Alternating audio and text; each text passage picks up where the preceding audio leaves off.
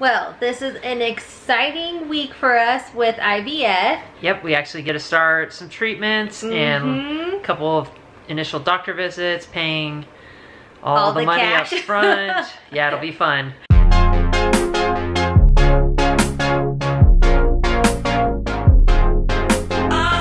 So I've officially finished birth control. We've also finished our Z And so it's nice to have those out of the way. And so these next few weeks are going to be super intense where we have doctor's appointments like almost every other day. Yep. But it is going to be super awesome. And I'm super grateful because Jake's able to come with me to all of them. I've been going to all of my previous appointments all by myself. Yeah, so it'll be nice the if I past can, years. I can go along too. so this will be nice to like have them here for all the process and I don't know it's fine going to appointments and stuff by yourself but it's just nice to like have a buddy and especially like tomorrow where it's just like a big appointment Yeah, so lots, all this start starting off. So yeah so we're just going over our consent, consent forms, right now. So we're just gonna read through all those and sign them. and then we also are going to do our injection videos so tonight we have to review the injection videos so tomorrow at We our appointment if we have any questions or things like that um, our friends Emily and Brett who have done IVF four times now were so nice and came over and gave Jake and I like tons of tips with our shots and all of Talk through all that the medications. and after they left, I was like so excited, which I never thought I would be saying about injections that I'm excited about them.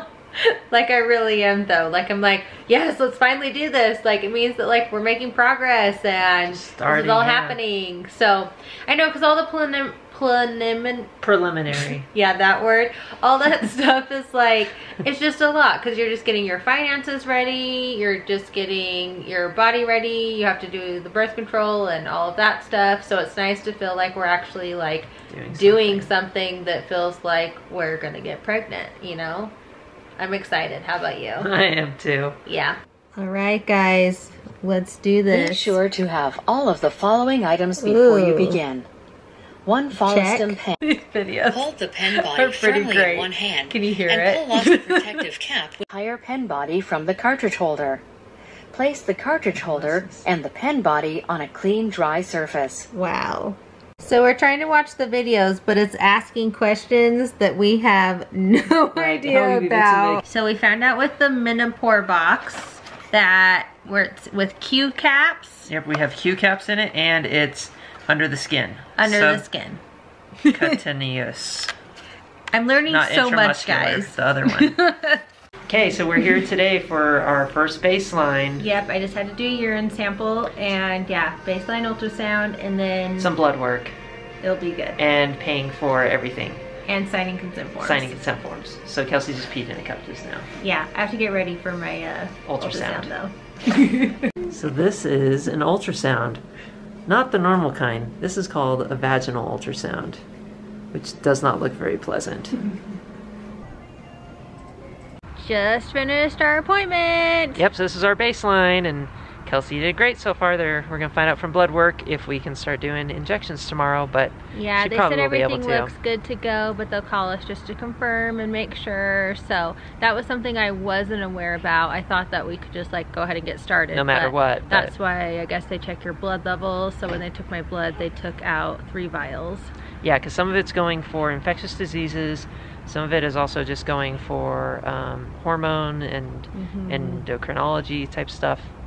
And so anyway, yeah, Kelsey has lots of eggs. Yes, apparently that from the was ultrasound. good. They said it was looking good. That if I got 10 to 20, they said that that, That should be be, like really great. So that sounds exciting. Fingers crossed. Fingers crossed. Lots of eggs. We came to Walmart to grab a few supplies for tomorrow because we needed gauze pads for our injections. So we found some sterile gauze pads. Had to pick up a few of these because, you know, just happens for this whole process. Worth it. And then we also need to get some Tylenol because I'm not allowed to take like any, Any medications or any medicine or anything for the pain. You can take baby aspirin, um, but I asked the nurse today because I was like, is there anything else we can take? And she said, um, you can also do Tylenol, but you can't do it like right before you go under to get your egg retrieval because I guess it like thins out your blood or something. So we can use it earlier. So I'm gonna pick up some Tylenol too because we don't have any of that. We also found a heat pad. Our sweet friend from YouTube, Annie, recommended this. So excited to try it. So Kelsey has all these needles stuck in her for acupuncture. It's so awesome.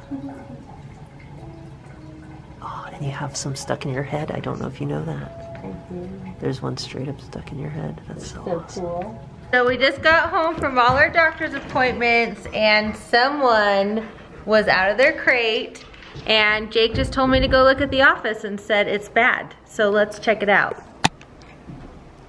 Oh my gosh. Yeah, this this is a little a little bad. Oh my goodness.